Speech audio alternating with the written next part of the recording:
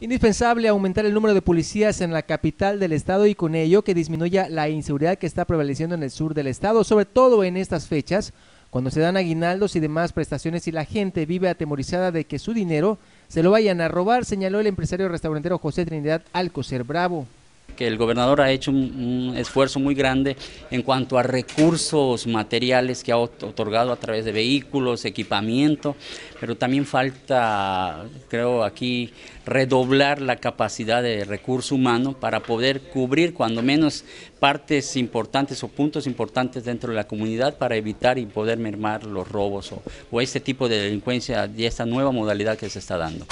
Esto por los robos que han sufrido los restauranteros en el Boulevard Bahía y también los comensales, entre ellos la presidenta de la agrupación de mujeres empresarias Georgina Asensio, a quien le hurtaron su bolso dentro de un restaurante. Deben de empezar a, regresar aquellos este, policías que estén comisionados a, particulares eh, en lo personal y a autoridades que en un momento dado pudieran ellos cubrir ¿sí? un pago de esta naturaleza y dejar que la sociedad pueda estar eh, de una u otra forma eh, bien